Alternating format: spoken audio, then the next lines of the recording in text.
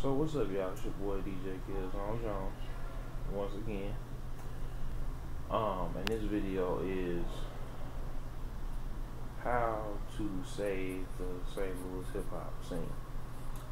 Now I'm putting this on my YouTube, and Facebook, and Facebook page, and um, cause, and the reason why I made this video, I made a couple of Facebook Live videos um, last week talking about the real rap discussions that's getting ready this this discussion series or this event that's getting ready to happen next week and uh, I want everybody to go over to uh, Rob Boo's page uh, he's a promoter and event planner here in St. Louis and he's going to have several industry St. Louis uh, industry analysts um, or, or people in the industry um, Boogie D, the program director at Hot 104, Master. He's a producer and engineer um, for Dirty N.T. Thistle, who's a uh, very successful uh, independent Christian hip hop artist, and other people who come through as well.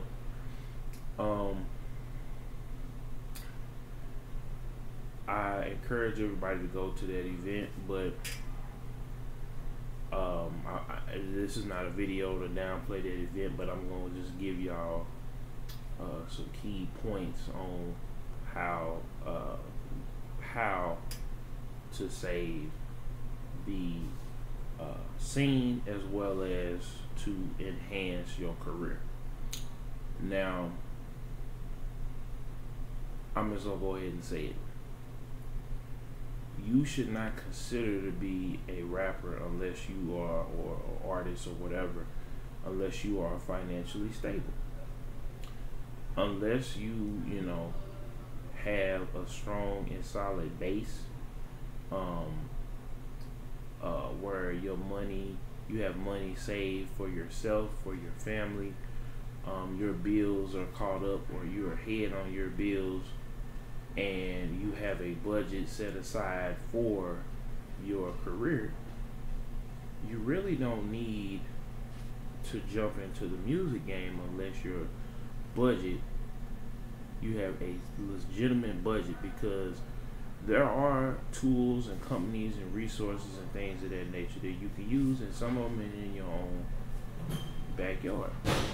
Um, I used to work with a company called Mic Check Global, and uh, you know, I'm not working with them anymore, but I will uh, be using, you know, their services and uh, patronizing them because I've seen that the their program works, you know.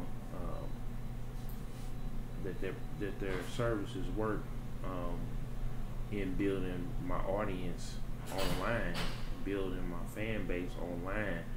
So you know when I release music or whatever, my videos or whatever, that I have a solid audience of people who are interacting with me and consuming my material. Then I'm going to get with uh, Addicted Dopeness and uh, Mean Girls Media because they have connections with a lot of smaller radio stations that I get my music played outside of St. Louis, and that's the key. You know, um, to get to have a if you don't have a fan base and you don't have people that are playing your record that are getting your record circulated and you're able to see the metrics on your um, uh, see the metrics of where your music is being played, how many times X, Y, and Z, and getting a, a check cut for that, then you're really wasting your time. Um, you know, um, those are just two, and then you know you can always take out Facebook ads, take out ads on the social media platform, go to somebody who has a popping page to have them repost your video or post the video on their pages. Um, and really, you have to do all of these things, you know, to get your music noticed. So you're not just putting out mixtape after mixtape, material after material, and you know,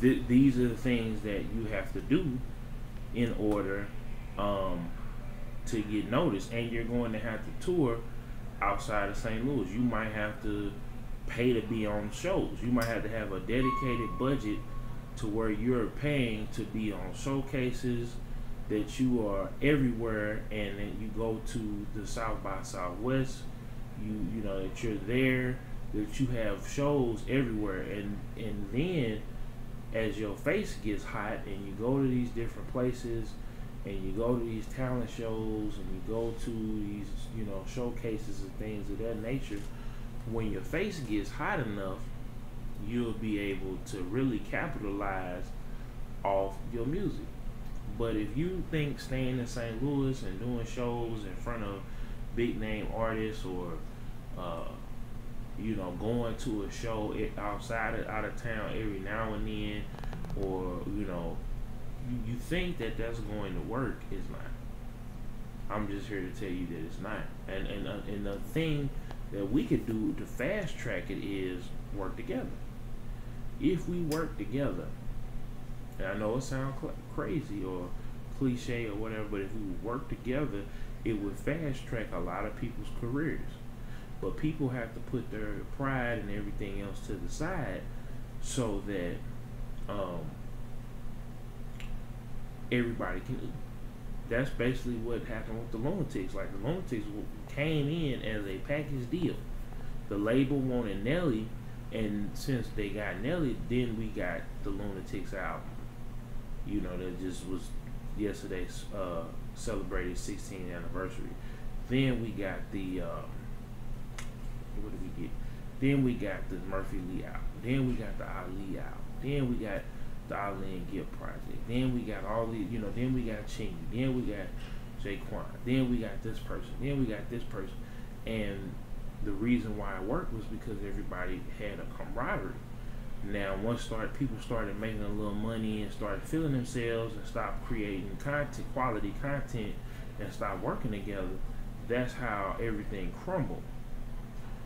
So, in order for us to, to do that again, we have to work with each other, not charging, not charging period for features, going to each other's shows on, on both sides of the fence, the hip hop crowd and the party scene, um, and then taking out a budget if you want to do, you know, radio. If you if you've already invested into, you know, your campaign over at Mic Check Global and your campaign with Addicted Dopeness and Mean Girls Media and you've already done those things, then you know it'll make it easier for you. But if you think you just gonna, you know, spend as little money as possible, I'm just letting you know as an artist you're gonna have to spend money, you know, and really invest and not just think that your music is dope enough because we we don't live in an era anymore. Everybody is getting their music circulated somehow. Somebody is is posting up the music and it's taking off like that, somebody is, you know, somebody has marketing and it's taking off like that.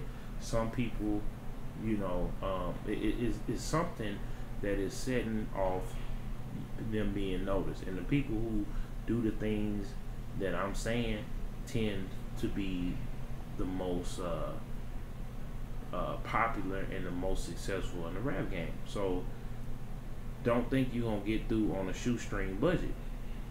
You know what I'm saying? Don't think that it is something that just happened by accident that these people were on. And don't think that these labels or these other rappers that are successful are going to put you in a position to eat because they can only make themselves pop. You know what I'm saying? But they can't make each other uh, uh, make each other pop. So you know, it's your boy. Make sure that y'all.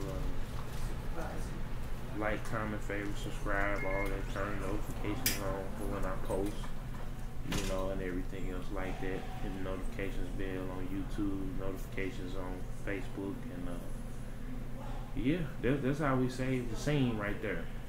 You know, investing in our, in uh, ourselves, in each other, and working together.